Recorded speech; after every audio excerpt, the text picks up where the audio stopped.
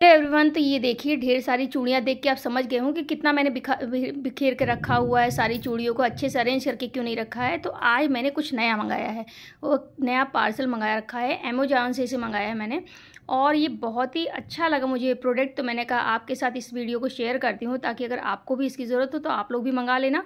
तो ये देखिए, कुछ इस तरीके से मैंने इसको ओपन करती हूँ मैं। बहुत ही मुझे सही लगा कि मतलब चूड़ियाँ जो है, हमारे इधर उधर हो जाती हैं सही से रख नहीं पाते हैं, कहाँ वार्ड्रो में रखें बॉक्स बॉक्स में करो तो हर बॉक्स को चेक करना पड़ता है कि इसमें कौन सी कलर की चूड़ियाँ हैं।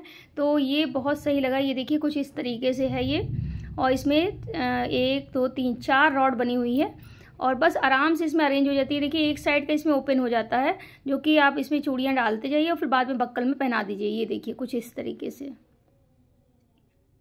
बहुत आसानी से हो जा रहा है और इसमें लगभग जो है, पाँच से छः दर्जन चूड़ियाँ आराम से जा रही हैं।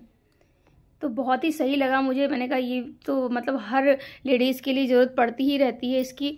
अगर वो पहनने की शौकीन है चूड़ियाँ, वैसे तो चूड़ियाँ भले ना पहन लेकिन शादी पार्टी या उस तरह से तो आदमी ज़रूरी पहनता है। तो इस तरह से हमने इस बैंगल्स को अरेंज किया। ये देखिए, कुछ इस तरीके से इसमें ये हुक बना हुआ है। तो आप इसे गोदरेज की अलमारी में रखना चाहो तो वहाँ रखिए वार्ड्रो में रखना चाहिए तो वहाँ रख सकते हो आप। मतलब बहुत आसानी से ये इकट्ठे सारी चूड़ियाँ आ जा रही हैं और जिस साड़ी की आपको मैचिंग करानी है या सूट से आपको मैच करानी है चूड़ियाँ तो अपना निकालो और पहनो। लग रही है ना सही? कुछ इस तरीके से। बहुत अच्छा लगा तो अगर वीडियो अच्छी लगे और आपके लिए हेल्पफुल लगे तो लाइक, शेयर ज़रूर करना। बाय